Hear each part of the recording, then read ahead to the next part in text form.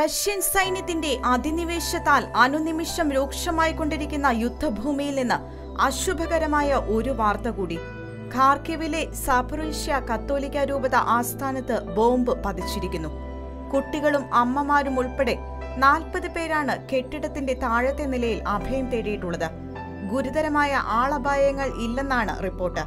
യുദ്ധതീവ്രത കൂടുതൽ ജീവഹാനിയും നാശനഷ്ടങ്ങളും വിതച്ചുകൊണ്ടിരിക്കുമ്പോൾ മാർപ്പാപ്പ ആഹ്വാനം ചെയ്തിരിക്കുന്ന മാർച്ച് രണ്ടിലെ ആഗോള പ്രാർത്ഥനാ ദിനത്തിൽ ലോകമെങ്ങുമുള്ള വിശ്വാസികൾ ഏക മനസ്സോടെ ഉപവാസമെടുത്ത് പങ്കുചേരണമെന്ന ആഹ്വാനവുമായി വിവിധ രാജ്യങ്ങളിലെ കത്തോലിക്ക സഭ നേതൃത്വങ്ങൾ ശക്തമായ ആഹ്വാനം നൽകിയിരിക്കുകയാണ്.